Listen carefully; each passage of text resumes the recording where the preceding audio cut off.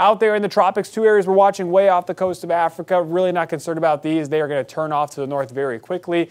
We do still have a couple other areas that we're watching, including Tropical Storm Franklin. That is now moving towards Hispaniola this morning, likely making landfall today.